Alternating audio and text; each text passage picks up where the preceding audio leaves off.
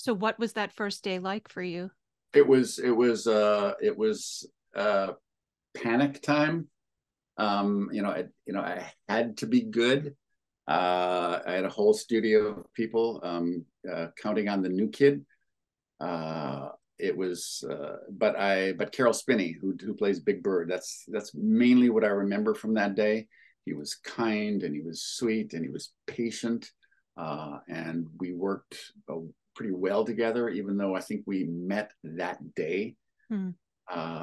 and it worked out just good enough so I didn't get fired and managed to you know to stay on uh, and learn my craft uh, as I went along. About eight years later, I, I, I I finally got good at it. So you have to make it your own. If there's anything that anyone likes about any puppet character or any Muppet uh, Muppet character, it's because the puppeteer that is behind that character has a soul and a personality and is bringing that all to bear and is has found a technical way and an emotional way to communicate him or herself into that character to be a good communicator for you